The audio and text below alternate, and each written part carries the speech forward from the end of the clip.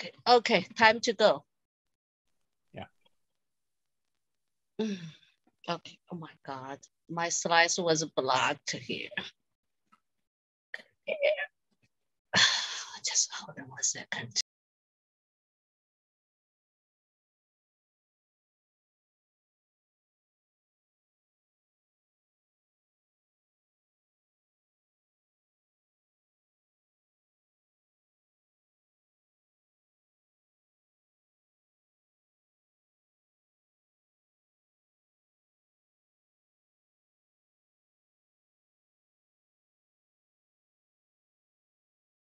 Uh, okay, there comes. Okay. Ah, nice. Ah. Yeah. Yeah. Uh, hello, everyone. Uh, ladies and gentlemen, I'm uh, so glad to meet you here on the Friday's talk. This is Alice Zhang from Peking University. And uh, I'm uh, so happy to meet everyone every Friday. So uh, it's already be uh, iCANX talks, not only talks, of course, right? For everyone in the uh, in the university, they uh, stay here uh, waiting for the wonderful talks. So uh, we're proud of that. Uh, actually, this month, uh, we have the uh, you know uh, big you know July because July we have uh, six speakers. Uh, this was the first week uh, we have Professor Patrick from uh, Paris. And uh, next week, we're going to have uh, two young scientists as all iCANX young scientist awardees, uh, Hai Ding Shen and Deep.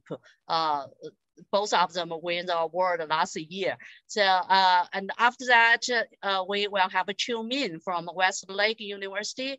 And uh, then we will have a, a scientist was from, uh, from a far place, is from Argentina. So yeah, uh, he's uh, mathematics. Yeah, so Eva did a great job, you know, uh, to introduce this. And afterwards, uh, after that, we will have uh, Takhee Lee, was from Seoul National University, going to talk more about the flexible electronics. So uh, this month will be very, uh, you know, crowded and busy. So because of all these wonderful speakers and all these wonderful talks. So I hope all of you, you know, keep on going to see us on the Friday's talks.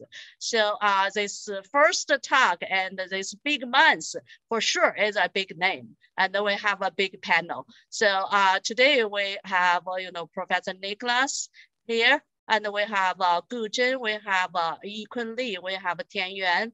Uh, so as our panelist, and uh, our speaker is Professor Patrick. Uh, he's very famous. But today, not me going to introduce Professor Patrick. I'm going to ask uh, Professor Nicholas Peppas to introduce uh, uh, Professor Patrick. Uh, Professor Nicholas, are you ready? I am ready, yes, indeed. Thank you very much, Alice. A good evening to everybody. Good afternoon in Europe. Good morning in the United States. I am delighted to introduce Professor Patrick Couvreur. I looked at the schedule of the, uh, the last uh, two years, and I think it's only the second time that we have a member of the Academy, the first one from France. The first one was Professor Jean-Marie Le Pen, so uh, uh, Jean-Marie Lehn, and so sorry, and uh, so we have really a great pleasure to have Patrick, whom I have known for more than 40 years. Uh, Patrick, you know, the picture appearing from about 40 years ago at the University of Paris. Patrick was a native of, of, of Belgium, and he started, he did his PhD in Belgium, and he started his studies, and he was an independent chef de recherche, as we say, in Brussels, where he did his first few students. And then he was invited at the University of Paris, what we used to call at that time University Paris Sud, that means South Paris. It's in a suburb of Paris, or it was in a suburb of Paris, until, as I understand now, in a place called Châtenay-Malabry, where he, with other people, was able to develop probably the most famous school of pharmacy in uh, Europe, and of course, pharmacy worldwide known. He was director, many, many students that came out of his laboratories, many names that many of you know passed through his laboratory. Uh, Marie Jose Alonso, we knew her as Marie, Marie Jose Alonso, Elias Fattal. Uh, I mean, it's impossible for me. And tremendous interactions with the United States, with Professor Langer's laboratory and mine. Already in the 1980s, he had started working on micro and nanoparticles. He was always very interested in treatment of diseases. There was a very strong period where he started working with cancer treatment. But at the same time, he was interested. I remember in 1988, we published a small paper on oral delivery of insulin. We were trying to do really a variety of things since then, of course, very independent and so on. I'm proud to tell you that Patrick is recognized by some of the most important awards in the world. He's a member of the French Academy, and that is really a significant, significant recognition. He is a member at the same time of the French Academy of Medicine and Pharm- Pharmacy, the Spanish Academy. In the United States, he has been elected both to the National Academy of Engineering and to the National Academy of Medicine. He has received some truly major awards, especially the Madsen Medal that came from uh, as a European pharmaceutical scientist. And uh, he has honorary degrees from the University of Ghent in his fatherland in Belgium and from the University of Montreal in Canada. Uh, his work, I will let him talk a more about it, but he was really the pioneer who took nanoparticles and tried to see how he could develop them for a treatment of a very large number of diseases with a huge laboratory. And this came because as a young man, he spent some time at the ETH group in Zurich, with the famous and of course departed professor Peter, Peter Speiser. And there was a community of scientists that came out of that group, and these scientists now are leading the field with the ideas. So when you hear the word nanoparticles, you really have to understand that the area of nanotechnology in the pharmaceutical field had been proposed by Peter Speiser as early as 1960 or 65 I remember a, an article in the very obscure journal Die Pharmazie, in which uh, Speiser was talking about some of his work at that time. So hopefully, Patrick, if he has time, he will tell us a little bit about it.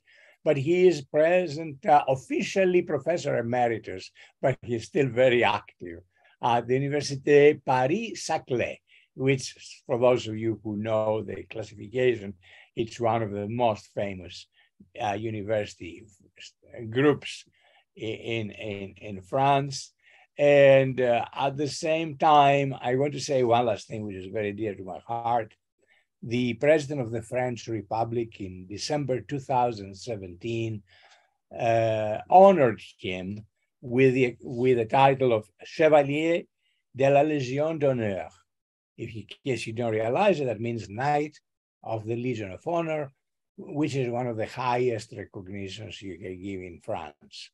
And of course, he has been professor at Collège de France, where De Gennes and many others were professors. Patrick, it gives me great pleasure to introduce you. I want to welcome also the panelists and the student who will ask the hard questions after your talk. And I am delighted you have agreed to talk to us today. Thank you, Patrick. The floor is yours. Thank you. Thank you so much, uh, Nick, for this uh, so kind uh, and friendship uh, introduction, uh, which touched me uh, a lot. Thank you also to you and to Alice for the invitation to speak today about nanomedicine for the treatment of severe disease. So I will share my screen. Do you see my screen correctly? Yes. Thank you. So, uh, ladies and gentlemen, it's my great honor to, to, to share with you uh, some uh, research we have done with advanced nanomedicine for the treatment of uh, uh, severe disease. As you know, when you are administering a drug as a conventional chemotherapy, the drug is sometimes uh, limited in terms of pharmacological activity because of a poor diffusion through biological barriers. This means that uh, the drug will have a low, not all, of course, but some drugs will have a low bioavailability. Some drugs uh, which are arising from the nanotechnologies, especially the peptides, the proteins, the nucleic acids, are subject to a fast metabolization and to rapid degradation. Also, not all, but some of them, especially in the field of the cancer, are characterized by an unspecific tissue and cell biodistribution, which result, of course, in a low pharmacological activity with a lot of side effects and eventually toxicity. Also, some drugs are very efficient, but they are characterized by a low intracellular capture. And if the biological target is located intracellularly, then you can imagine that uh, once again, it is a limitation for the pharmacological activity. And finally, a lot of, uh, of uh, drugs in the field of the cancer, in the field of the uh, infectious disease, will induce resistances. And of course, now it is possible to encapsulate those drugs into nanotechnologies, into nanocarriers with a size in between a few ten and a few hundred of nanometers.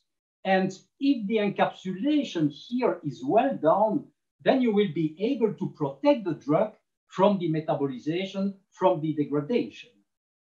Also, as I will show you, it is possible to decorate those nanoparticles with some ligands. You can pegylate those nanoparticles to have a better cell and tissue targeting and therefore a better therapeutic index.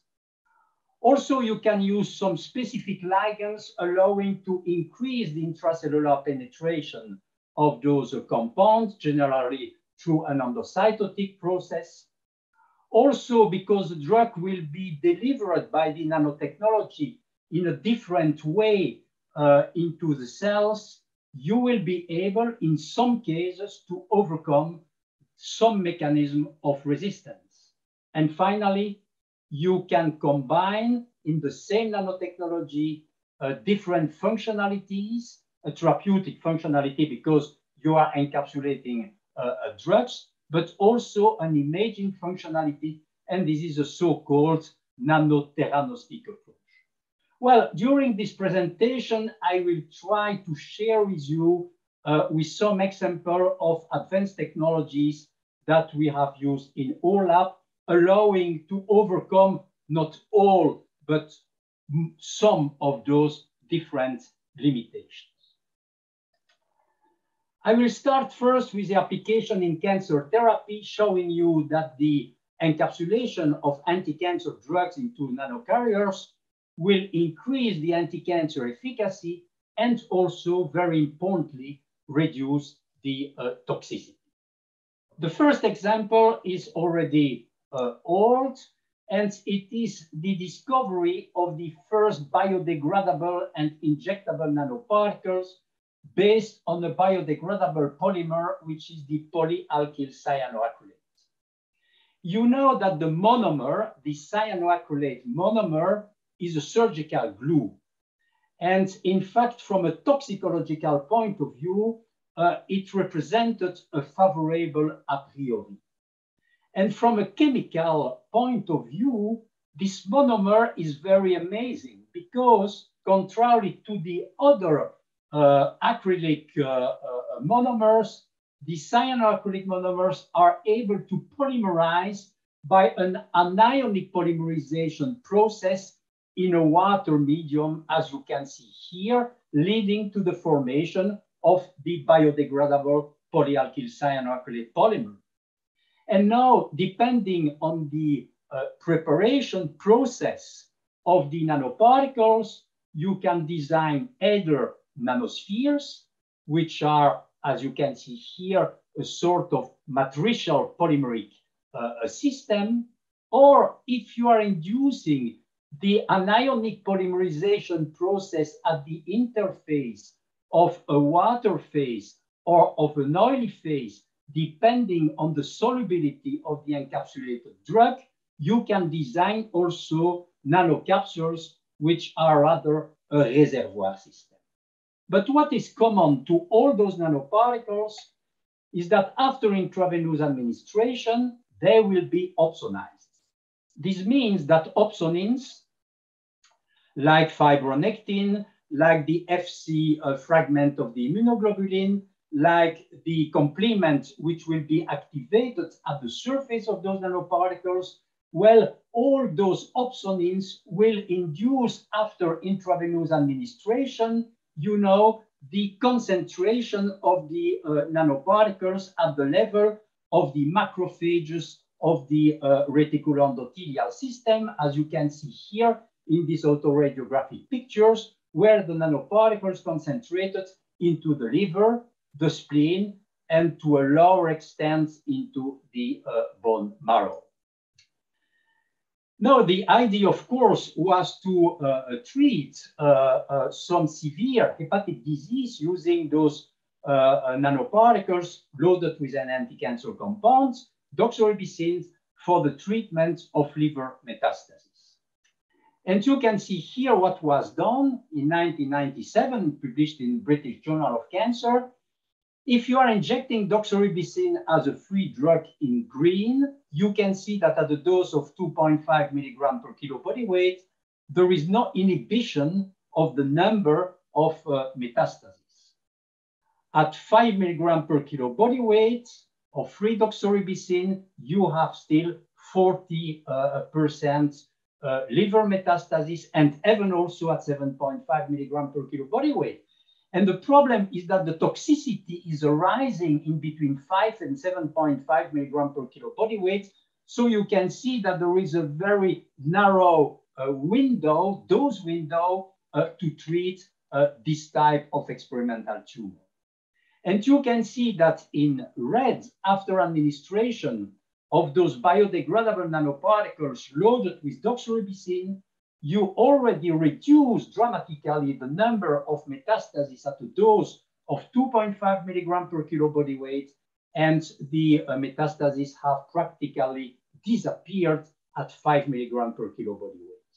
And also we discovered that the cardiac toxicity, which is the limiting toxicity of doxorubicin, had completely disappeared uh, by using uh, those nanoparticulate formulation of doxorubicin. And you have just one example showing uh, you here the extended metastasis obtained with the uh, treatment with uh, doxorubicin as a free drug. And you can see here only the small uh, uh, and uh, low number of metastases after the treatment with the nanoparticles. Now, what is very interesting is that you can apply also this technology for the treatment of the multi-drug resistant hepatocellular carcinoma. As you know, probably the hepatocellular carcinoma is characterized by uh, the presence of efflux proteins at the level of the membrane of those uh, uh, cancer cells. This means the P glycoprotein, the MRP, there are other uh, uh, families of uh, efflux proteins and those proteins, as you can see here, are effluxing the drug from inside of the cell, the doxorubicin from inside of the cell to outside of the cell. In other words, you know, it is a way the cancer cell are using to fight against the chemotherapy. And you have on the right side of the cartoon here a typical example an ex uh, with an experiment that we did by using a human hepatocellular carcinoma, you can see that after increasing uh, the concentration of doxorubicin as a free drug with the uh, HUH7 uh, hepatocarcinoma cells, you can see that there was 100% of cell viability because of this multi-drug resistant phenotype. And the idea we had was to encapsulate doxorubicin into those biodegradable polyalkyl cyanoacrylate nanoparticles to mask the doxorubicin from the recognition by the P glycoprotein and to avoid this efflux process. And it was working well because you can see now that after incubating the uh, nanoparticles loaded with doxorubicin with the human hepatocellular carcinoma, we restored the sensitivity of the cancer cells towards the chemotherapy. And this was confirmed in preclinical in vivo assays, including uh, hepatocarcinoma intragenic mice. And if you are looking to the apoptosis through TUNEL analysis or histological counting, you can see that there was a significant apoptosis of the cancer cells treated with the doxorubicin nanoparticles, whereas it was not the case after the treatment with doxorubicin as a free drug, which was at the same level of apoptosis than a single solution of glucose 5%. And this allowed us to create a startup company, which is called BioAlliance. Now the name of the company is uh. And we started first with a, a phase one clinical trials, uh, which, uh, which was a trial to look about the tolerance of the drug. And we observed that the uh, doxorubicin-loaded nanoparticles were uh, much less toxic uh, from the point of view of the cardiac toxicity and digestive toxicity uh, in phase one comparatively to doxorubicin as a free drug. So we started with a phase two. And as you can see here, the survival rate 18 months after the treatment with doxorubicin loaded with the polyalkyl cyanoacrylate nanoparticles, the name of the specialty is Livatag, was around 90% and there was only 54% in patients uh, treated with the standard treatment, which at that time was the chemoembolization. This allowed us to start with a phase three uh, clinical trial. It was a multicentric clinical assay in around 40 hospitals worldwide. And very, very rapidly, the Livatag obtained the so-called fast track status from the FDA, because the overall safety and tolerability uh, uh, was excellent for those nanoparticles, including in those patients who received the longest treatment uh, in periods over than uh, one year. Unfortunately, at the end of the phase three, when we look to the survival curve, uh, we observe that the Livatag had exactly the same survival curve than the control arm.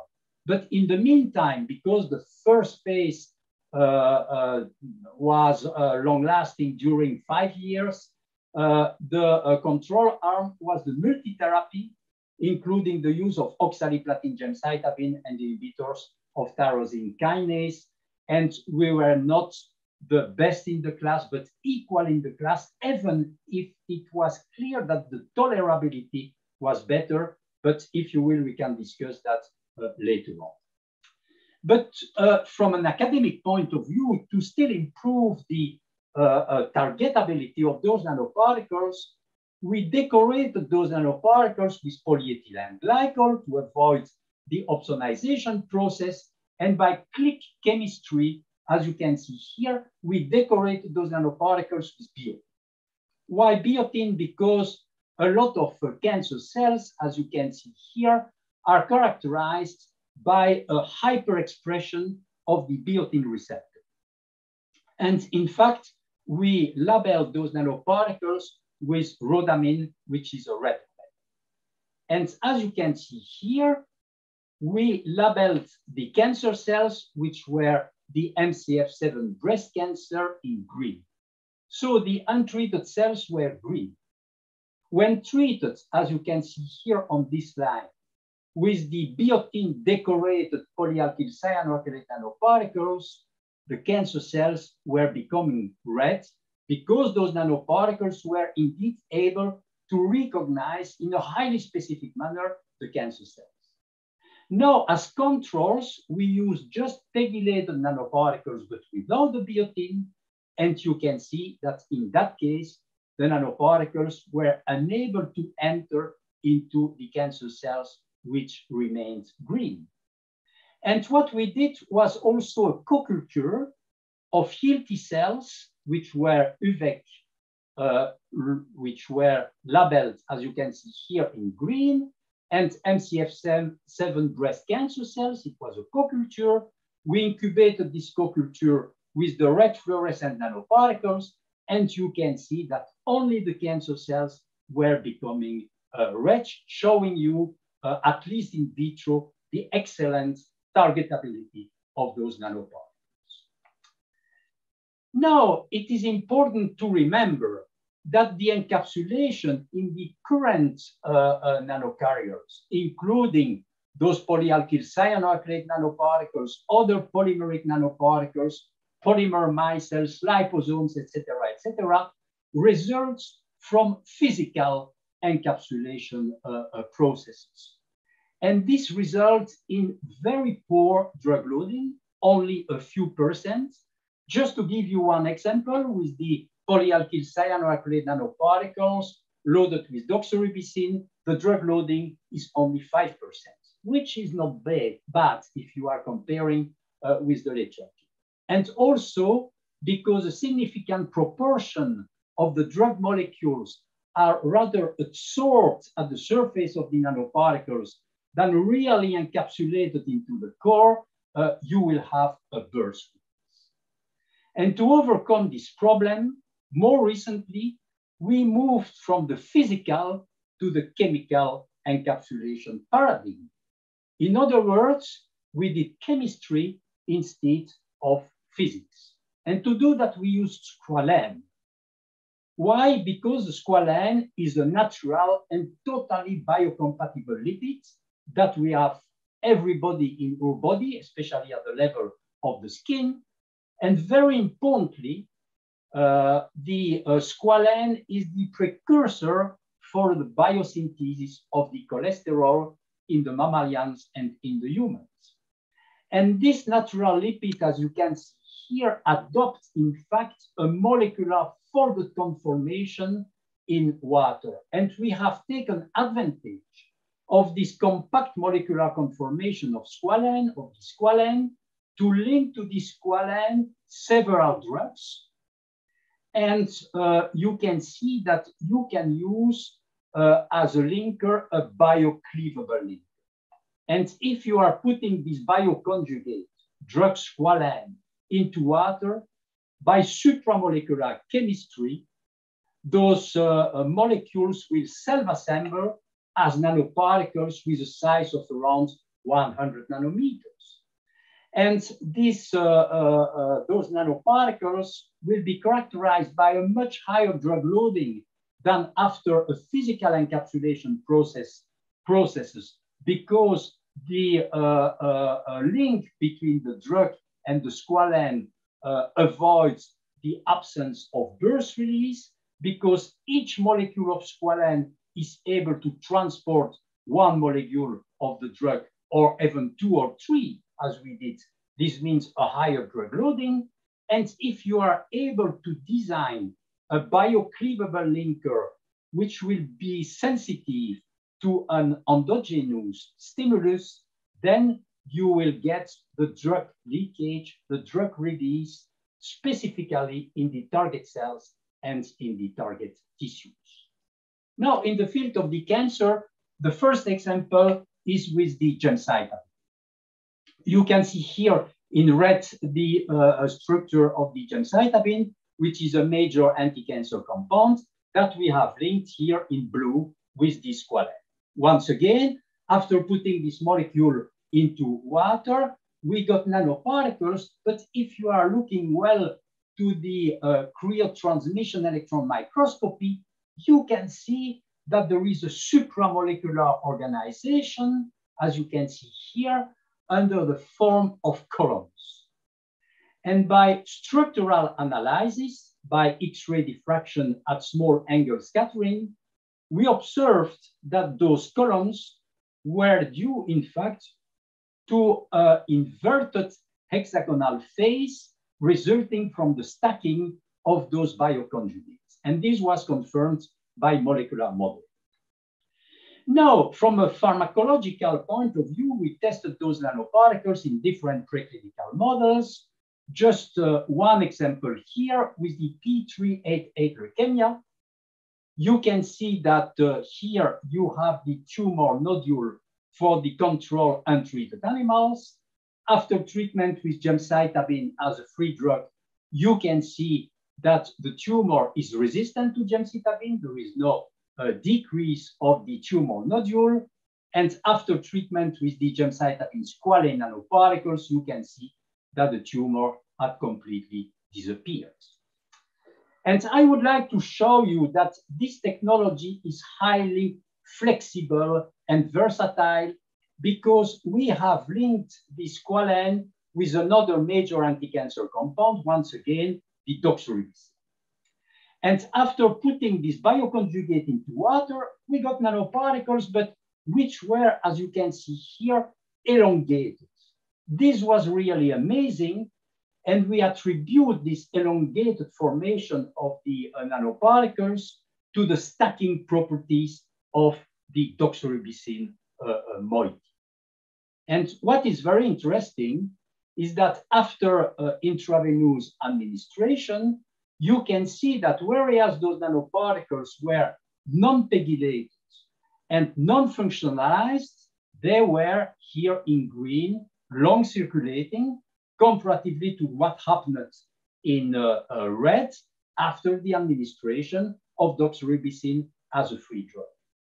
And this was explained by the fact that after intravenous administration, the doxorubicin squalane nanoparticles elongates through the blood flow streamlines and are not recognized as spherical particles by the macrophages of the reticuloendothelial system, explaining the long circulating properties. And the result was also a complete modification of the uh, drug biodistribution. After administration as squalane doxorubicin nanoparticles, you can see that there was a dramatic decrease of the concentration of doxorubicin into the cardiac tissue comparatively to what happens after the administration of doxorubicin as a free drug. And on the contrary, there was an increased concentration into the tumor nodule comparatively to what happens after administration of the doxorubicin free. And this resulted in an increased anti-cancer uh, uh, activity of those nanoparticles in two experimental models, one human pancreatic myopathy and a murine uh, lung cancer. You can see clearly here in black the uh, evolution of the tumor volume for the untreated animals. If you are treating the animals with doxorubicin as a free drug, you can see that this tumor is clearly once again resistant to doxorubicin. And in green, after administration of the doxorubicin squalane nanoparticles, you can see that there was a very, very important inhibition of the tumor growth. And this was translated and confirmed also after taking some biopsies of those animals treated with the squalane doxorubicin nanoparticles you can see here in the second line an increase, a huge increase in the apoptosis and expression of the caspase-3 uh, uh, activity of the uh, uh, tumor cells, whereas it was not the case here after administration of doxorubicin uh, as a free drug.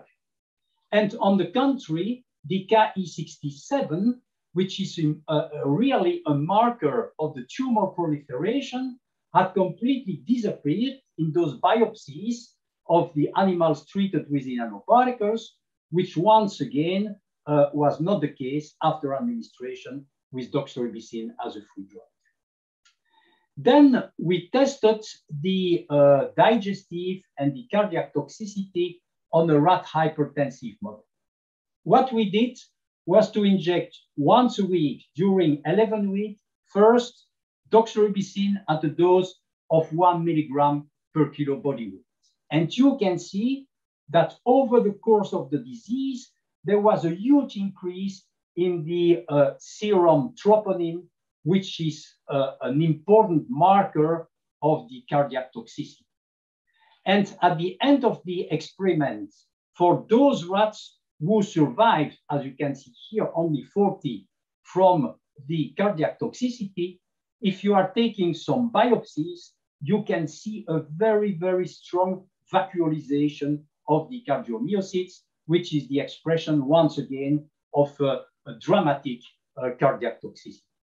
Now, if you are taking the doxorubicin squalene nanoparticles at the same dose, but also at the double and the triple of the dose, you can see that the troponin is remaining quite normal, just the same as the untreated rat or rats treated with a, a placebo.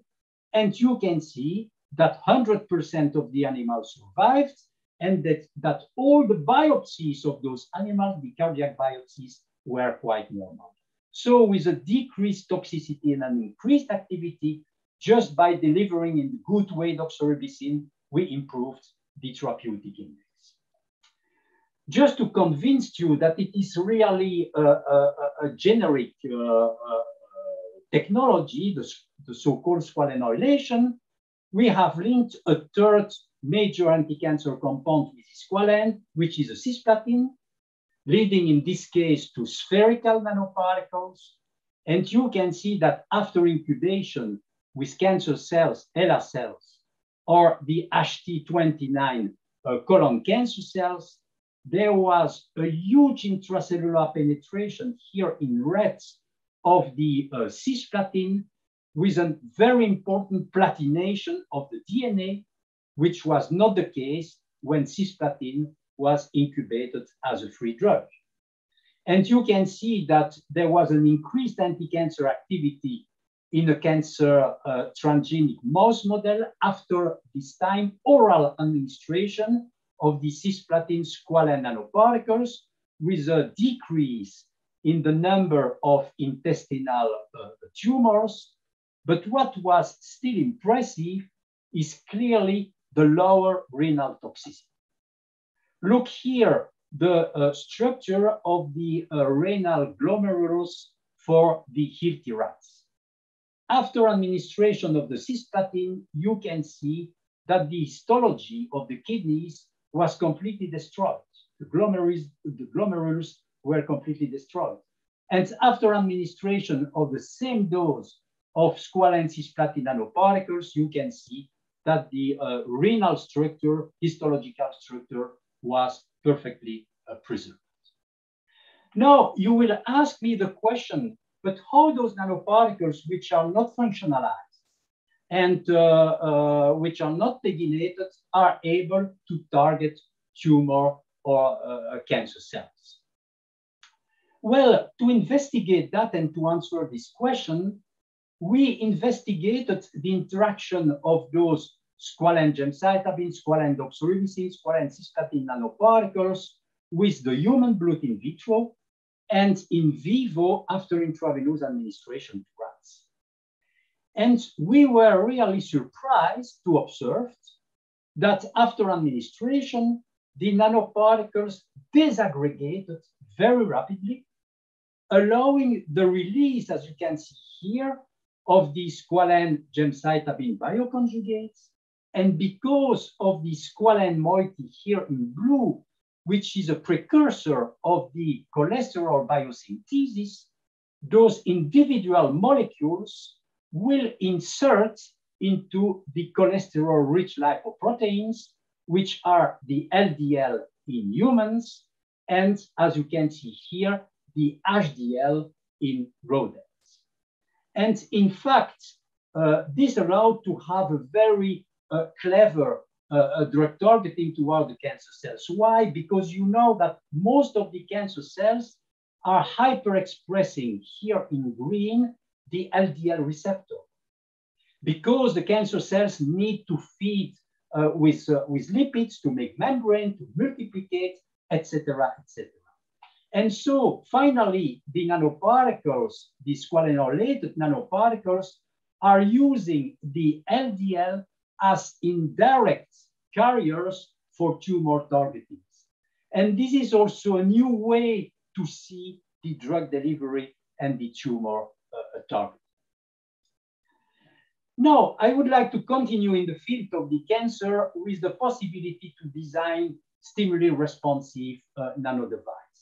This means nanoparticles able to answer, uh, to react to an endogenous stimulus, like a modification of the pH, uh, of the redox, uh, of the redox status, of the enzymatic activity, for instance, into the tumor, or an, an exogenous stimulus uh, like a magnetic field, light, ultrasound, temperature, etc., etc. And to show you that, I would like to show you what we did by using uh, uh, metal oxide frameworks that uh, we prepared as nanoparticles. You know that metal oxide frameworks are uh, iron oxide clusters that you can see here very clearly, which are condensed which are complexed with diacids, with different diacids. And depending on the uh, molecular weight of the diacids, on the flexibility of the diacids, you can uh, control the size of the pores of the nanomorph, and you can design those pores so that they have the same uh, size than the hosted molecule. And I would like just to show you one example with busulfan. In fact, busulfan is a major anti-cancer compound, which is used in uh, pediatric uh, cancers at very high dose. And unfortunately, busulfan is inducing a veno-occlusive disease of the liver, and sometimes with a high toxicity and even the death of the, of the kids, unfortunately. And so since a long time, we have tried to encapsulate busulfan in pegylated liposomes nanoparticles to avoid the capture by the liver. And it was not possible because busulfan is crystallizing very, very rapidly. And in fact, we succeeded to encapsulate busulfan into those nanomorphs because each molecule of busulfan in this formulation is separated from its neighboring molecule and there is no crystallization process. And so we could load those nanomorphs with around 20% of busulfan, which was never done previously. And what is very interesting with this technology is that iron oxide, as you know, is decreasing the T2 signal at magnetic resonance imaging. So you can do MRI you can follow the nanoparticles after intravenous administration and look, for instance, to the collapse or to the growth of the tumor, depending on the treatment. And this was the first time we proposed this concept of nanoteranostic. This means nanoparticles uh, aggregating in the same nanoparticle a therapeutic functionality due to, to the encapsulation of several drugs with a diagnostic uh, functionality due to the possibility to do some MRI uh, imaging. And more recently, we observed that those nanomorphs were pH sensitive. Indeed, those nanoparticles, as you can see here, are quite stable with a size of 100 nanometers at an acidic pH. They are prepared at an acidic pH. But after incubation with serum, as you can see here in this uh, uh, cartoon, there was a huge augmentation of the size of the nanomorph due to some micro aggregation. And in fact, you observed that those micro aggregates disappeared very rapidly. And so we injected those nanoparticles intravenously and we looked to the biodistribution of the iron, uh, you can see that in blue, and those nanoparticles concentrated because of this aggregation into the lungs with a small inflammatory process which disappeared very rapidly, as you can see here, uh, after uh, four and six hours. And so it was a way to conduct a drug into the lung tissue as we did with gemcitabine uh, uh, monophosphate loaded into those uh, uh, nanomorph, you can see in blue that we increase dramatically the concentration of the drug at the level of the pulmonary tissue, which was not the case after administration of the uh, gemcitabine as a free drug. And on the Lewis lung carcinoma, uh, with a lot of uh, inducing uh, uh, lung metastasis, you can see that only the nanomorph loaded with the uh, gemcitabine monophosphate were able to decrease the number of metastases, which was not the case after administration of the free drug. Now, for the second part of my lecture, I would like to uh, uh, look to some possible application in uh, neuroscience without the need for the nanoparticles to pass through the blood-brain barrier. You know that uh, worldwide, and including we, a lot of uh, uh, groups of laboratories are trying to design nanoparticles able to pass the blood-brain barrier, which can induce some toxicological concerns for different reasons. And we have demonstrated that without passing uh, some uh, uh, the, the blood-brain barrier, but by, but by acting on peripheral receptors, it is possible to have some application of the nanomedicine in the neuroscience field. And the first example is uh, the uh, use of uh, adenosine. Because adenosine, as you know, it is a neuromodulator which should have a very strong pharmacological efficacy in several neurological disorders. But unfortunately, this molecule is rapidly metabolized after intravenous injection with a half-life of only uh, 10 seconds. And this is the reason why we have linked the squalene with the amino group of adenosine, which is sensitive to the deamination after intravenous administration to protect the amino group from the uh, degradation. And we have used those uh, adenosine squalene nanoparticles for the treatment of the uh, spinal cord injury using the T9 uh, uh, weight drop injury, as you can see here. And this injury will induce a trauma which will paralyze the hind limb of the animals. You can see here in red that after administration of the adenosine as a free drug, there is no recovery of the locomotor score, but that after administration of the adenosine squalene nanoparticles, you can see that there was a recovery of the locomotor score just because uh, we have preserved, as you can see here in those biopsies, the small myelinated axons which were less uh, damaged than after administration of uh, adenosine as a free drug. And I have here a small film which is uh, showing you uh, uh, this. First with the so-called sham trauma group, in which you can see that in this model, the rats have the hind limbs completely paralyzed. They are unable, in fact, to walk with the hind limbs. After treatment with the adenosine solution, because of the fast metabolization of adenosine, there is no pharmacological activity. The same with the only squalene nanoparticles without the linkage with adenosine. Per se, the squalene has no uh, pharmacological activity. And after injection of the adenosine squalene nanoparticles, four years after treatment, four days, excuse me, after the treatment, you can see that the rats were able to move uh, uh, freely on the ground uh, without any uh, problem.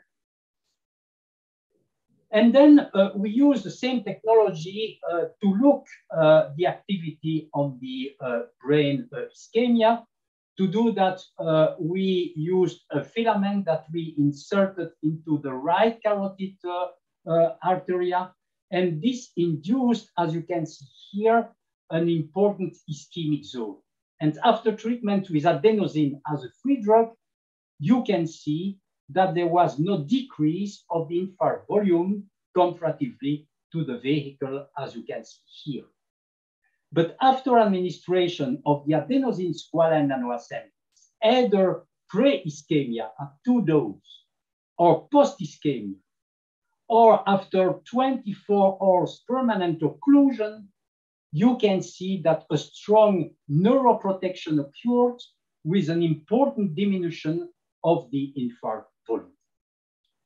And in fact, we investigated the mechanism behind this uh, neurological activity by uh, investigating the biodistribution of those nanoparticles and of the uh, adenosine squalene.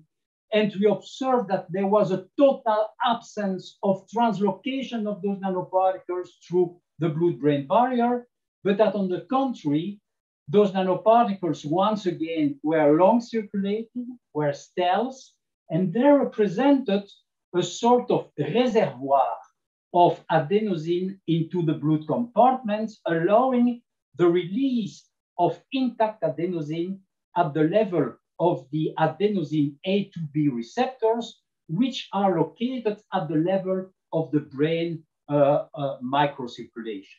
And this will induce a vessel relaxation, a decrease in the number, as you can see here, of the ischemic capillaries with a better reperfusion, as you can see here, and therefore a neuroprotection. And uh, this explains once again that it is possible to induce a neuroprotection only playing on periph peripheral uh, receptors. And we followed the same way of reasoning still more recently uh, to uh, uh try to treat uh, pain by using the same uh, technology and by playing on peripheral receptors. Why? Because you know that uh, morphine, the misuse of morphine, morphine derivatives, and more generally in opioid derivatives, has represented a national crisis in USA also uh, in Europe, even to probably a little bit lower extent. In USA, you have 11 million of patients indeed who are addicted to the treatments with opioid derivatives, representing around in between 100 and 200 deaths per day uh, on the mean.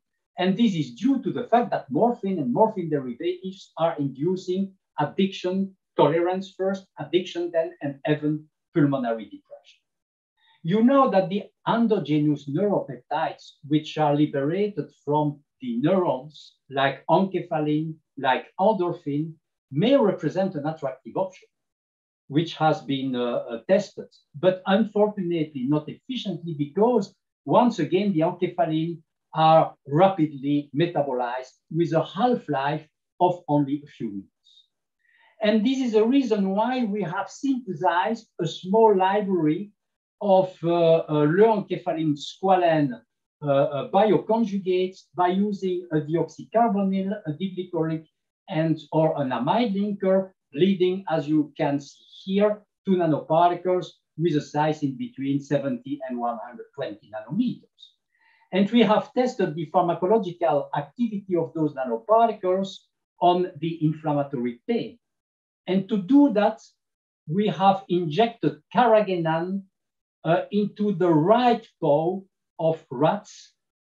You can see the swelling of the paw with an inflammatory pain. And by using the Hargreaves test, we have tested the analgesic activity by measuring the paw withdrawal latency after, as you can see here, illumination of the uh, right paw of the uh, rats. And here are the results. Look what happens with morphine. In fact, you can see that the paw withdrawal latency is about seven seconds for the uh, uh, normal paw.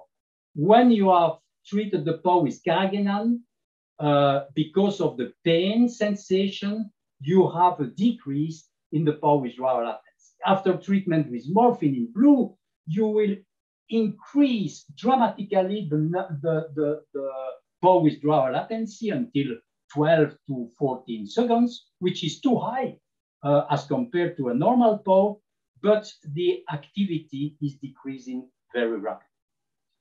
Now, if before the treatment of morphine, we are treating the animals with naloxone, which is an antagonist of morphine at the level of the mu receptors of the brain, you can see that you abolished all the antinociceptive activity of morphine.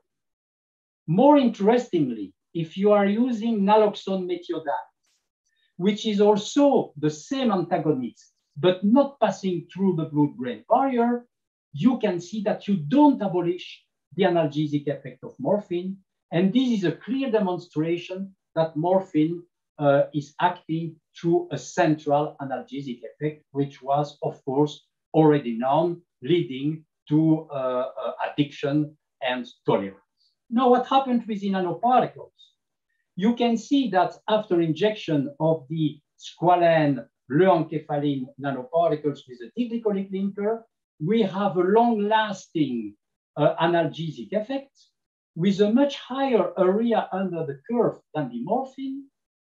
And the level of the uh, antinociception is the same than for a normal pulse. So you have no hyperalgesia. After injection of the peptide as a free compound, you can see that there is no activity. And interestingly, after injection of naloxone methionine before the treatment, you can see that you completely abolished the uh, uh, analgesic effect of the leuenkephalin squalene nanoparticles, contrary to what was observed with morphine. And this is a demonstration that those nanoparticles uh, are acting in terms of pain alleviation through a peripheral pharmacological activity. And the same was observed with the uh, uh, nanoparticles uh, with an amide linker or a deoxycarbonyl linker between the uh, neuropeptide and the squalene. Now, how to explain that? To do that, we, we have labeled those uh, leuenkephalin squalene nanoparticles, as you can see here, with a fluorescent dye. And you can see uh, that after an intravenous administration by imaging, we observe that over the time, those nanoparticles concentrated into the right inflamed and painful paw, as you can see here in this magnification. And this is due, in fact, to the leaky vasculature that you have at the level of the inflammatory process, allowing the nanoparticles to extravasate uh, at the level of the uh, uh, location of the pain. Now, if you are looking to what happens at the level of the brain by imaging, or uh, after uh, the end of the experiment by taking the different tissues, you can see that those nanoparticles were not traversing, translocating through the blood-brain barrier. They have no access to the brain. And this is the explanation why those nanoparticles have an antinociceptive effect because they are acting on peripheral receptors, but not on brain receptors. And these allow to have an analgesic effect, but uh, with suppression of the addiction side Now, I would like to move to the uh, possibility to use multi-drug nanoparticles to target inflammatory tissues. And this is very interesting approach because as you know, some patients, of course, a small number, which are uh, infected with SARS-CoV-2 virus, uh, are evolving uh, towards a severe uh, disease with an uncontrolled paradoxal inflammatory process of the pulmonary tissue. And in fact, uh, uh, this results from a vicious cycle between inflammation and oxidative stress. You can see that the lymphocytes, the neutrophil, uh, will be activated, will induce a transmigration into the uh, tissue. Uh, they will induce the liberation of chymokine, of reactive oxygen species, inducing uh, an oxidative stress with tissue injury. And this will trigger once again inflammatory process uh, to become worse. So it is really a, a vicious uh, uh, cycle. And to stop this vicious cycle, we have decided to design, do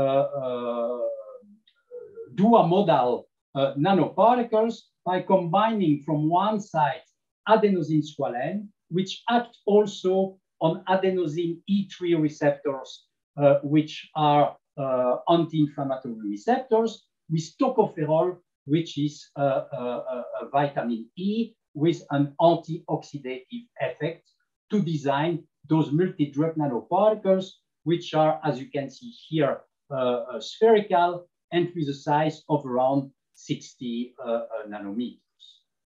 And you can see that uh, when you have animals with an endotoxemia model following a lipopolysaccharide challenge with a, a septic shock, with a paradoxal inflammation, uh, you can see that after intravenous administration, those multi-drug nanoparticles will concentrate in the inflammatory tissues, especially the liver, the lungs, and also, as you can see here, the kidneys.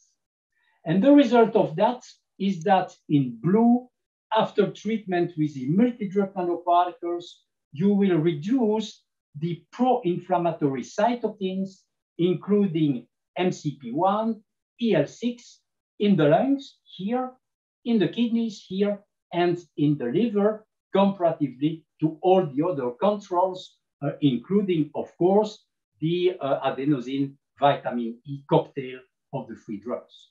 And also at the level of the plasma, you can see that there was a significant decrease of the TNF alpha, which is also a pro-inflammatory cytokine. And very interestingly, if you are looking to IL10, which is an anti-inflammatory cytokine, you can see that after treatment with the multi-drug nanoparticles, you have in fact increased the anti-inflammatory cytokine. And the result of that is that after treatment with the uh, multi-drug uh, uh, nanoparticles, you have much better in blue uh, clinical scores than the animals treated with a cocktail of the free drugs or in black, the uh, untreated animals. And this was translated in uh, survival. You have indeed, as you can see here, 100% uh, survival of the animals after the uh, treatment with the multi-drug nanoparticles, only 60% after treatment with the free drugs, and only 40% for the untreated animals. And interestingly, if you are looking to the lipid peroxidation in the lungs, it was decreased after treatment with the adenosine squalene vitamin E nanoparticles. Now I will close with my uh, two last uh, uh, slides concerning the possibility also to target the infected endolysosomal compartments and to treat resistant infectious disease. You know that normally when you have uh, uh, an infection, and if you are in a good shape, your macrophages and dendritic cells, etc., etc., will taken up the bacteria. And when the bacteria are located into the cell uh, uh lysosomes, they will be degraded by the uh, lysosomal enzymes. But unfortunately, in case of immunodepression, instead of being degraded, those bacteria will multiplicate, kill the macrophages, infected other macrophages, and reduce still uh, uh, a lower, a lower uh, immunologic uh, uh, reaction. Now, of course, you will tell me, okay, but we can treat uh, uh, those uh, intracellular infectious disease with antibiotics? Well, no, it is very difficult because first of all, penicillin, which is a weak acid, is unable to enter into the cells because ionized at the extracellular uh, neutral uh, pH. And if you are taking a basic antibiotic like uh, gentamicin, this uh, antibiotic is inactive at the acidic pH of the phagolysis. And this is a reason why we have considered the possibility to use pH-sensitive nanoparticles, which will be taken up by the macrophages by uh, phagocytosis or endocytosis, ending into those endolysosomes where are located the bacteria at an acidic pH and uh, releasing the antibiotic only at the acidic pH. And to do that, we have used once again the squalene that we have linked to a pH sensitive link with uh, penicillin to allow the intracellular delivery of those nanoparticles. And as you can see, at least uh, in vitro, it is working very well because if you are taking Staphylococcus uh, aureus, resistant Staphylococcus aureus, that you are incubating with macrophages, you can see very clearly that this macrophage is done, not doing the job to kill the intracellular bacteria because you can see in green the uh, survivant bacteria and in red the dead bacteria. Now, if you are treating those cells with penicillin as a free drug, you will kill all the extracellular uh, uh, bacteria, but not the intracellular bacteria because penicillin is not penetrating intracellular. And now, if you are doing the same with those uh, penicillin squalene nanoparticles, able to release the antibiotic at the acidic pH of the uh, lysosome, you are able to kill all the intracellular bacteria. And now I come to my uh, conclusion, and uh, I hope that I have convinced you that uh, uh nanomedicine uh, is able, through those illustrations, through those examples, to target the diseased area, either because you have a ligand, for instance, biotin, it is just an illustration, or because you are using endogenous LDL or HDL to allow the indirect transport of the drug towards the cancer cells. As you have seen with the uh, polyalkyl cyanoacrylate nanoparticles loaded with the doxorubicin for the uh, hepatocarcinoma, you can overcome the resistance to the treatments uh, in the field of the cancer because overcoming the uh, P-glycoprotein, but also in the field of the resistant intracellular uh, infectious disease, as it was shown uh, uh, just with Uh, Staphylococcus uh, aureus. Also, uh, those nanoparticles, nanomedicine in general, can penetrate efficiently intracellularly. As I have shown you with those nanomorph, it is, it is possible to combine various functionalities into the same nanotechnology, including uh, therapy, for instance, and imaging for nanotheranostics, but also uh, uh, multi-drug nanoparticles with two drugs which will act on two different biological uh, targets.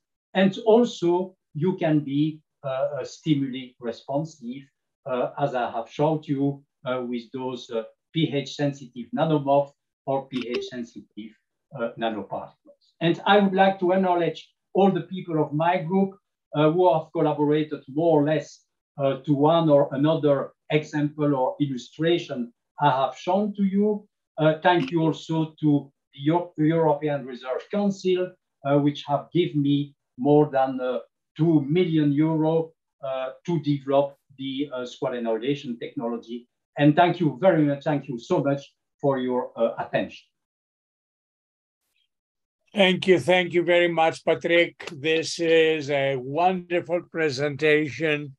Uh, a little bit of remembering the old days and how you started, and then many of the new studies and the new data that we all appreciate.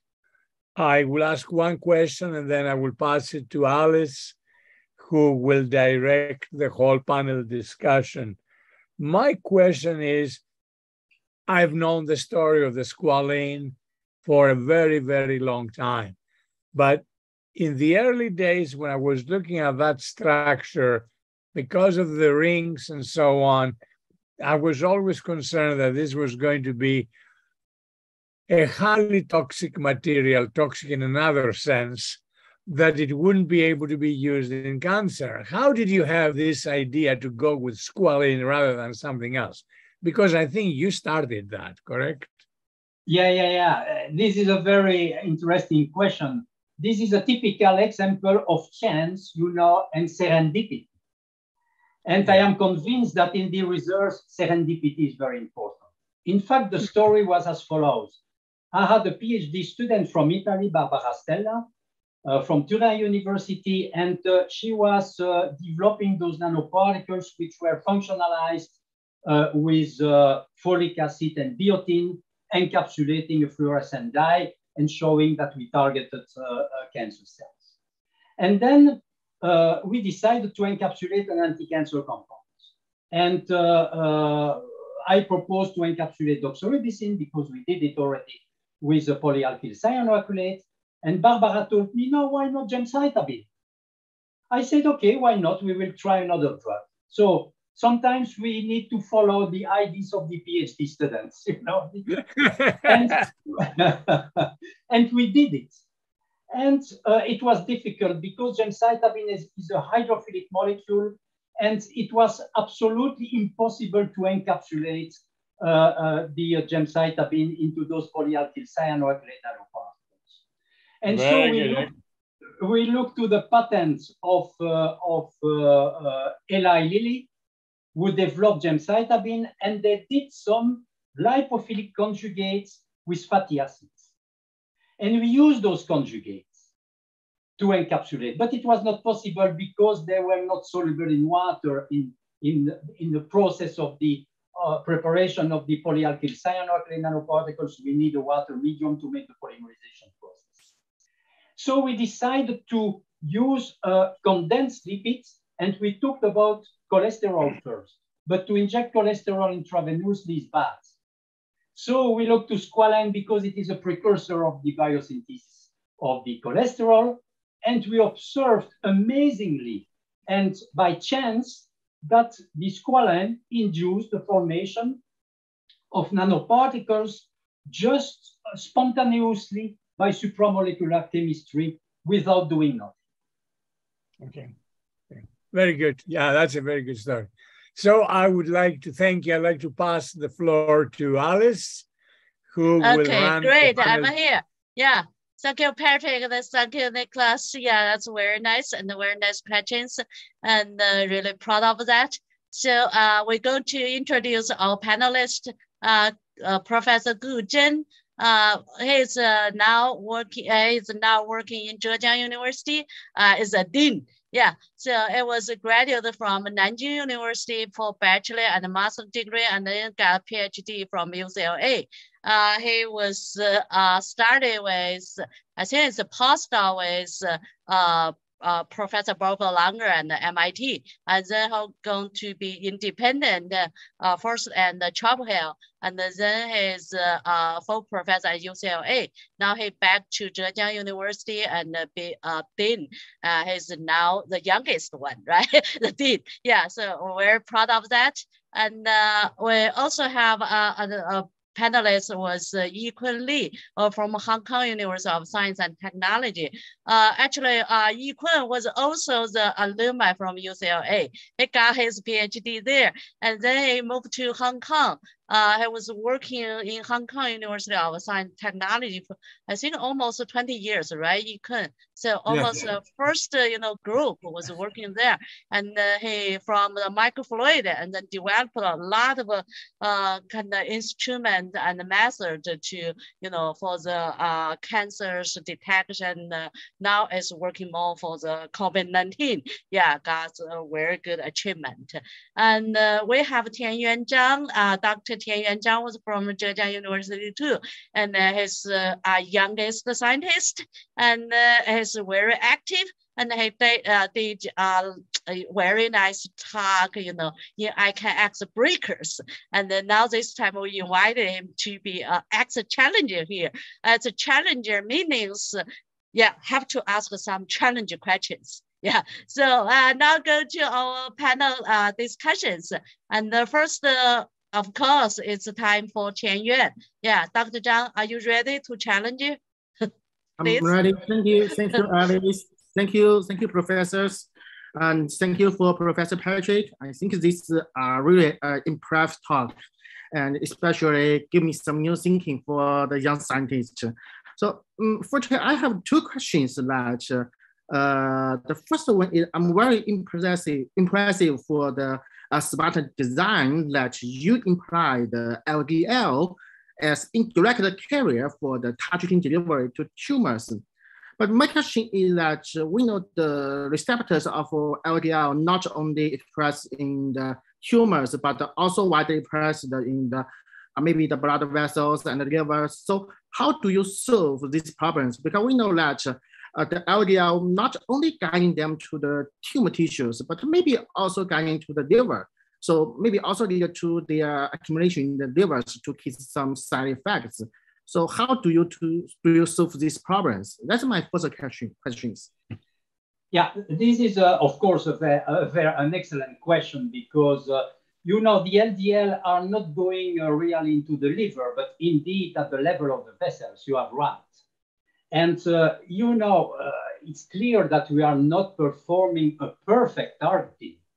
But when you have a, a, a solid tumor, uh, which is uh, important, you know, the solid tumor, because uh, the cells are multiplicating, they have a much higher expression of the LDL receptors than uh, the LDL receptors at the level of the blood vessels. And the typical example is that in the clinic, you know, people uh, uh, with uh, an advanced cancer, I am speaking about advanced cancer, they have all hypocholesterolemia. Uh, okay. Because in fact, the cancer cells are engulfing uh, the LDL so much that you have a decrease of the cholesterol at the level of the, of the blood flow, of the blood stream, of the, of the blood in general. And but you have right. It's not uh, nobody's perfect. It's not a perfect targeting. We are going also to the uh, blood vessels, of course. But now in the clinic, it will be a matter, of course, of doses, of uh, uh stage of the tumor, because probably you have not to treat at the starting of the tumor when the number of cells is limited. Uh, so we have to design, of course, the better uh, schedule of administration. Okay, thank you. Thank you, Professor. And my second question is that uh, uh, we know people have talked about the nanomedicines for decades, maybe before I was born, people talk about the nanomedicines. But uh, still now I'm got, after I got my PhD, the nanomedicines, the real application of nanomedicines in the clinic is still not so widely. And as you talk about, you have doing some uh, phase two and phase three uh, clinical trials, and you found that maybe the therapeutic efficiency was not as good as demonstrated in the animals. So, uh, in your opinions, what is the major challenges for the real applications of nanomedicines in the clinic? That's my second questions. Thank you. Okay, you know, uh, just to give you uh, the, the problem we had with the doxorubicin uh, uh polyalkyl cyanoacrylate nanoparticles. Uh, clearly, uh, we did, uh, I think that the, the, the, the nanoparticles loaded to, uh, with doxorubicin were very efficient into the clinic. But we did, and probably the CAO of the company did a big mistake.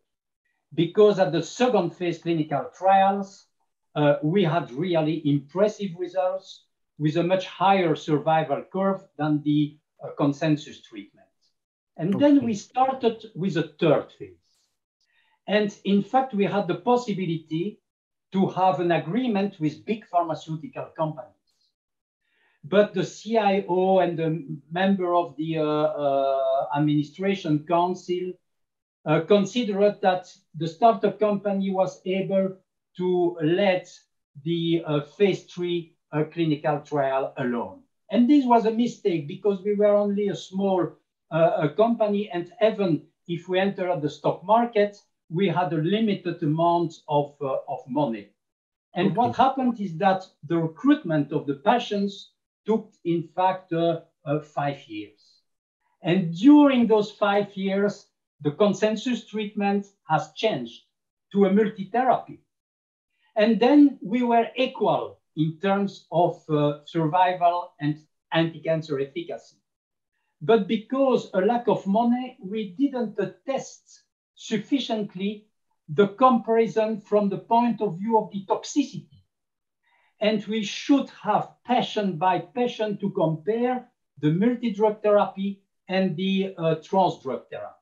And we didn't do that because of a matter of money. And I am sure that if we have collaborated with the big pharma, we should have a better results because probably we should come before uh, the consensus treatment was the multi-drug therapy, and we would have also uh, still the uh, uh chemoembolization as a consensus treatment. So you can see it's not a matter in that case of science, but it is a matter, I would say, of uh, business and way to conduct a, and way to conduct a company. Now, to, to, to answer more generally to, to your question, uh, you have around, it depends how you are counting, but you have around uh, 40 uh, to 50, depends. Mitragotri did a very nice paper on that, uh, uh, drugs, nanomedicine on the market. It's not bad. It's not bad. And uh, I would say now that with the vaccination against the COVID, if you don't have the, the, the lipid nanoparticles, you have no vaccine. No nanoparticles, no vaccine. This is what I am claiming here in France uh, uh, with the Minister of uh, Health, uh, because nobody, uh, the people don't realize that the way to give is as important as what is given. Now, to finish my answer to your question, of course, we can still improve, probably by doing more personalized medicine. And everybody agree with that because now when you have a, a, a, a targeted, uh, like with monoclonal antibodies or with uh, other type of uh, targeted uh, uh, uh, the clinical trials are done only on a limited number of patients which are well chosen. And this allowed to have a higher percentage of response than if you are taking a lot of patients with uh, breast cancer, for instance, but without uh, uh, uh, measuring the biomarkers which allow to do a precision medicine. And I think we have to do that uh, for the with the uh, nanomedicine too, more to identify what is a class of the patients who will not suffer uh, we will, for instance, answer to the uh, PR effect and will not suffer from uh, toxicity.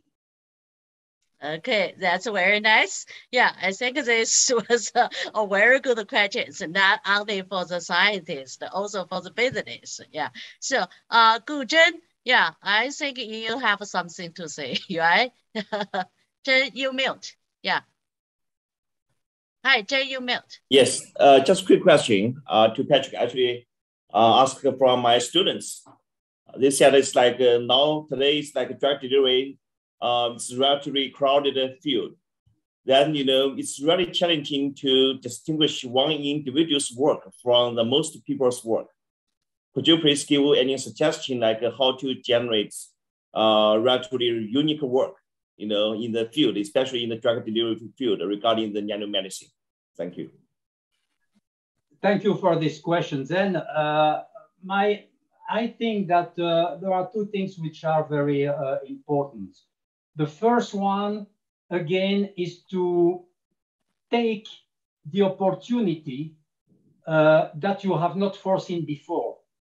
Uh, once again, uh, the serendipity is very important. If I am looking, I did this, this look I look to all the grants I proposed. And then I look to the results. What were the more interesting results? Never what was uh, previously anticipated. And I think it is very important to catch some results which are amazing, unattempted, not willing eventually, and to think out of the box. And this was typically uh, uh, just to illustrate that, uh, typically what we did uh, with the neurological uh, disorders, because during, I would say, probably a decade, like a lot of uh, groups, we tried to develop polyalkyl cyanoacrylate nanoparticles with ligands like transferrin, etc., etc., to uh, translocate the blood-brain barrier and to have nanoparticles into the brain. But at one day uh, with my PhD students, uh, we did a sort of uh, uh, uh, seminar and we said, okay, we have two problems with this approach. First of all, if you have nanoparticles of polyalkyl cyanoacrylate, of PLGA, with other polymers into the brain, from a toxicological point of view, how will be the metabolization process into the brain tissue? We don't know because as you know, in the brain uh, tissue, you have a very, very low uh, uh, metabolization process. The excretion from the brain occurs, of course, but at a very low level, uh, at a lower level than uh, uh, into the liver or the kidney, etc., etc. So we have, uh, first of all, a toxicological problem to induce nanoparticles to enter into the brain because it is a job of the blood-brain barrier to uh, hinder uh, particles to enter into the brain. That's one thing. The second thing was, okay, we have central receptors to treat the neurological disorders, but we have also peripheral receptors.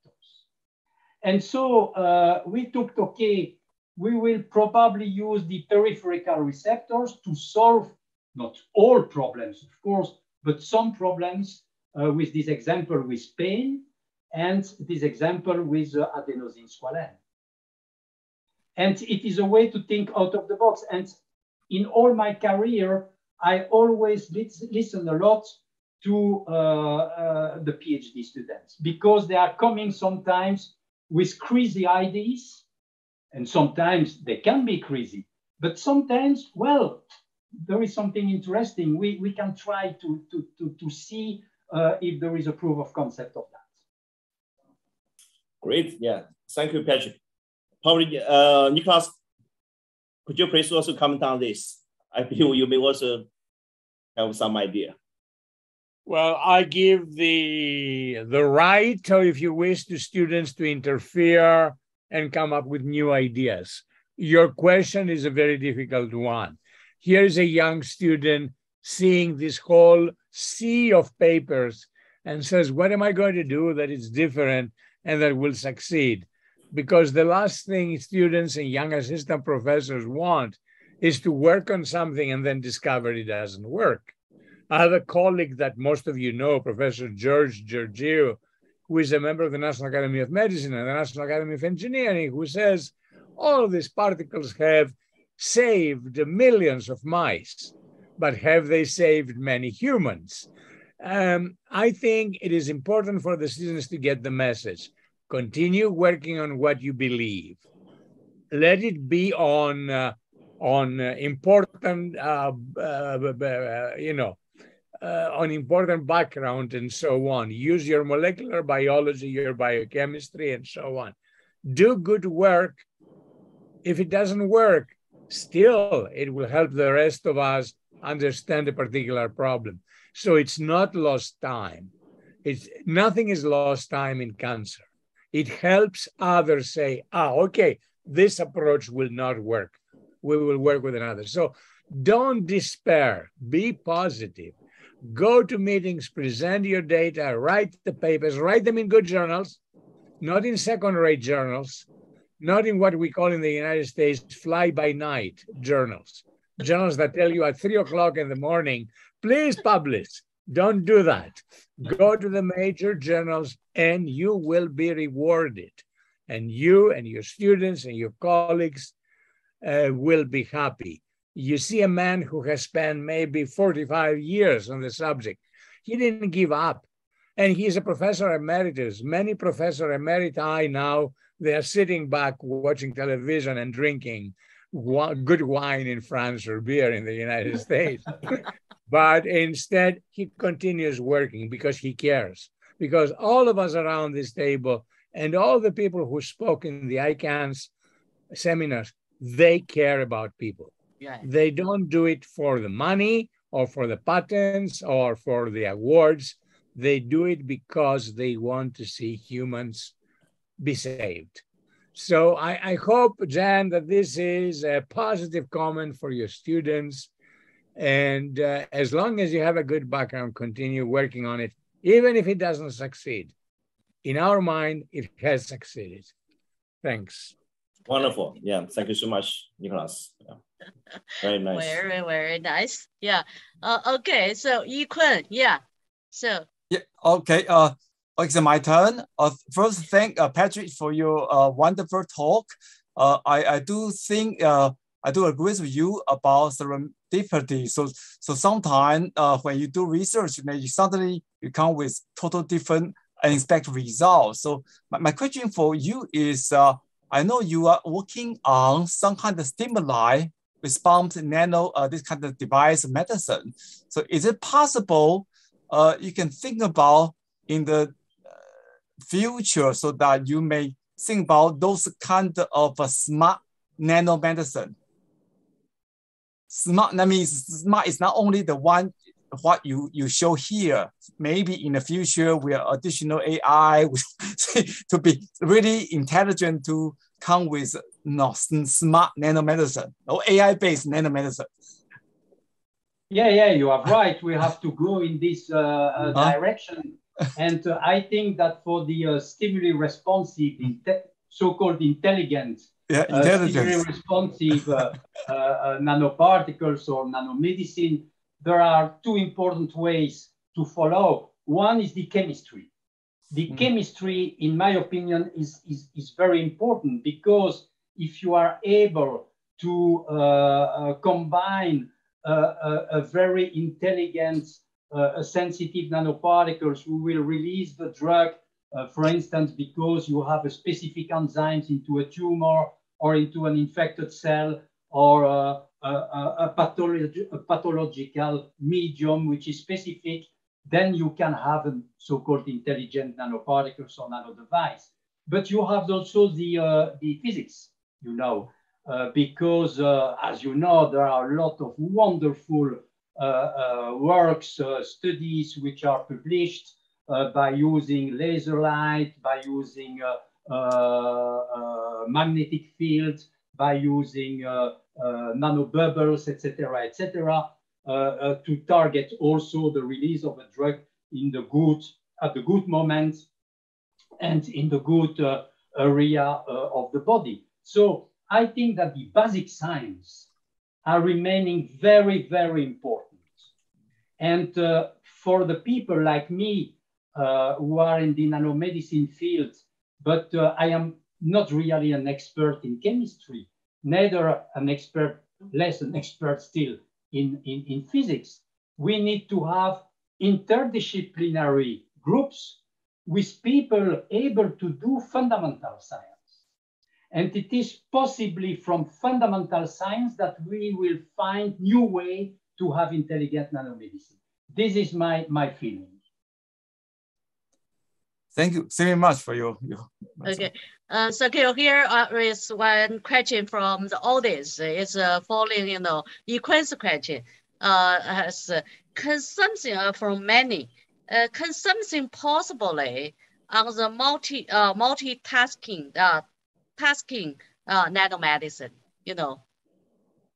Multitasking, you know, uh, you mean nanomedicine, which have a drug, for instance, for instance, inside and also which responds to a physical being? Is it is it the question? Uh, not that clear. I think it's like this. Yeah.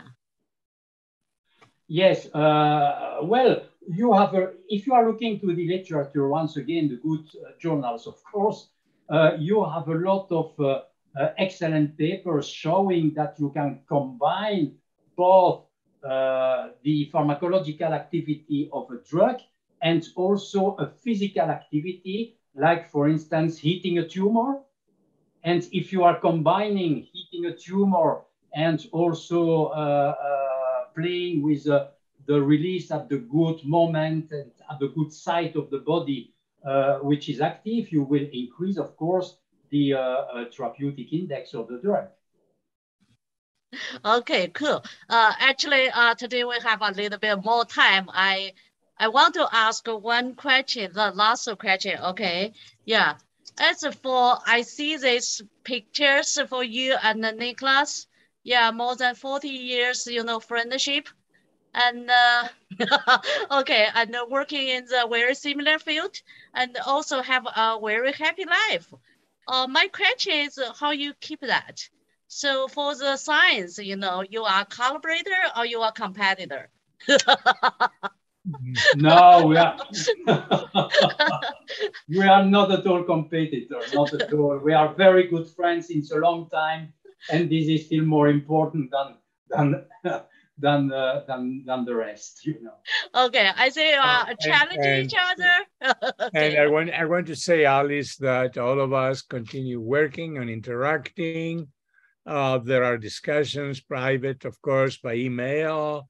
There are other presentations and so on. I'm organizing a very big symposium in November in Washington, yeah. D.C., where Patrick is one of the invited speakers. And this is exactly what we call convergence in the United States. He said it a few minutes ago. You cannot solve the problem of cancer with just chemists, just biologists, just mm-hmm. the medical doctors all of us have to come together and in a changing world. But you're right. And sometimes I sit down and I wonder because, as you probably know, people like Bob Langer and myself, and Mike Sefton, of course, Patrick Couvreur, and a few others that you saw, we were all together from the beginning. Obviously, one influenced the other, there is no doubt. But the important thing is what I said a little while ago I am 74 in August. I think Patrick is a little bit younger, not much, a little bit younger. We don't sit, I mean, do we like vacation? Of course we like vacation, but there are important peop- uh, problems in, in the world to be solved. There are important problems in China, in Japan, in Singapore, in the United States, in Europe, in France, in Germany. Who is going to solve them? The young ones. Absolutely. We are all supportive of the young ones. There is no doubt about it. But as long as we read, we have the ability to contribute something. Uh, as you know, in the United States, there is no retirement age for professors. So, in principle, and as long as my health is good, I can continue working. In Europe, there is a retirement age of what is it, Patrick, 67? 67? Uh, normally, no, no, no, no. Normally, uh, in France, for a professor is 65. Uh, 65. Same if you have, uh, if you are a full professor uh, at the last stage, you can ask for three years more. And if you have three children or more, you can still have one year more. so I could, you're, I could, you're in good shape. Stop at 70. okay. But the important thing is and I know this happens also in China. The younger generation looks upon these senior people and says they can still contribute something. And we appreciate that. And we try our best to continue working in those areas and contribute. I know that Patrick is admired by his former students who are all professors now, by Julien Nicolas and Simona Mura and Elias Fattal, who I'm pretty sure are in the audience because I made sure they all got letters today, this morning. So it is, I mean, let's let's stress the important thing. We are working because we want to help people. And that is really the most important thing. Okay. Thank you for Great. being such a good catalyst, Alice. Thank you very much. okay. Yeah. So I really, really feel, you know, uh, great about these pictures. You know, I see that, mm-hmm. you know, that's many, many years ago because I saw, you know, on this stage, like Gu Zhen, Tian Yuan, Yi-Kuen, all are, you know, the youngest, right? the young generations. And now it's time, you know, working together I think many, many people working and fighting for the, you know, real problem, help the people. Yeah, not only the people in some certain place, it's the people in the whole world, right? You try to help them solve the problems. That means, you know, contribute to the, you know, uh, the humankind, right? The universe. I think I like this, you know, I can add the, the slogan is connect world and universe. I think we, you know, working on the science and technology. We try to, you know, help all the peoples in the world and the universe. Yeah, we try to get everyone feelings, you know, much better, you know, in this world. Yeah, so uh, that that's yeah, really really great. I'm uh, really appreciative for all of you. I hope you know we keep on continue for this. Uh, I can ask the wonderful talks and uh, all these things. Yeah, thank you all everyone. Yeah. So uh, Patrick, I feel proud of that. So I, I deliver this virtual uh, electric you know, certification to you for iCANX. I hope. Thank you so much. Thank you so much uh, to Nick. Thank you so much, Alice. Uh, it was a very nice uh, discussion. okay, cool. Thank yeah, you. we we really working together to connect world and universe. We make it better and uh, much better. Yeah, in our hands. Try. Yeah. So, okay, yeah, next week we're going to have two young scientists, Deep uh, Jariwala and uh, Haiding, they were going to talk about, you know, something uh, interesting in the semiconductor. And uh, uh, okay, next week we also have MIT A and B uh, to talk about applied energy. This was will be four days, so you uh, you can hear a lot of talks on the you know live show. So uh, welcome to join us. That's all for today. Okay, thank you very much.